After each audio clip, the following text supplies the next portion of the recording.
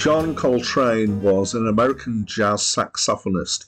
Uh, he was born in 1926 in North Carolina, um, and um, he studied music and learned various instruments uh, in his youth. Uh, in 1945, uh, he joined the Navy, um, and this was his uh, first big experience as a performer. Apparently, um, he joined a, a Navy band uh, called the Melody Masters.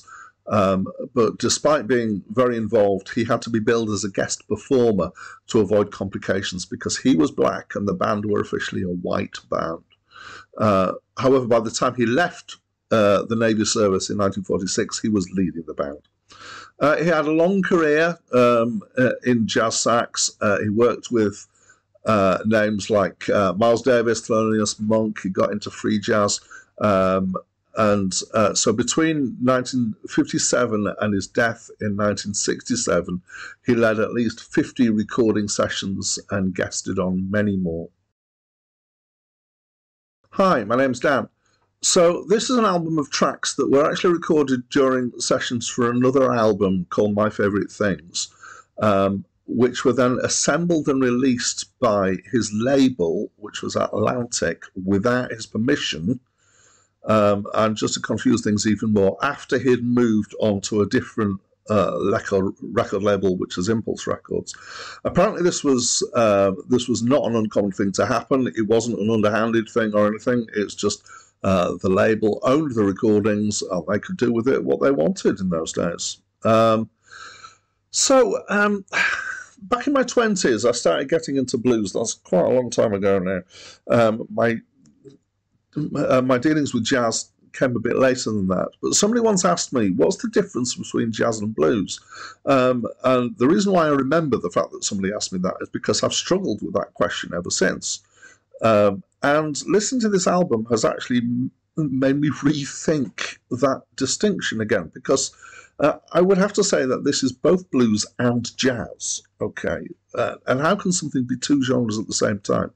Uh, so, I mean, both genres have got very loose definitions, I would say. Um, but what, uh, one of the strong characteristics of something that you can uh, and you can say that it's blues is that there's a, a particular 12 bar sequence of chords, uh, a certain kind of um, use of notes and I don't know if you've heard of people talking about blue notes before. So it's bent notes and flattened notes.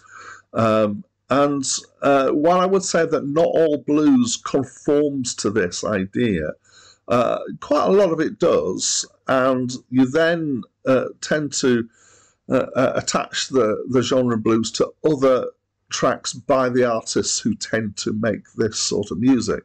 Uh, however, because that's about structure and uh, about the chord sequence, uh, it is something that you could use in other genres, as it were. So, um, when I say this is an album of blues and jazz, I would say it's an album of blues done in a jazz style.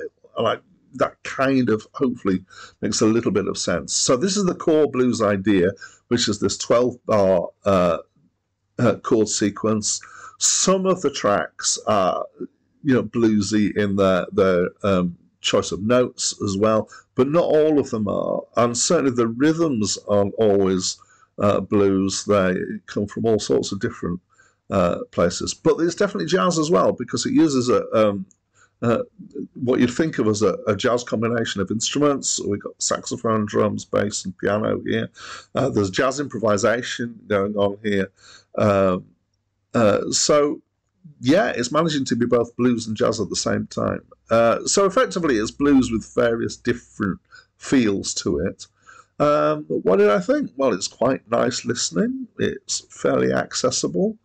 Um, yeah, it was okay. Um, I didn't think it was a masterpiece of some kind, but maybe you have a better understanding than me. Maybe you know about this uh, more than I do. If you do, I'd love to know what is so great about this album.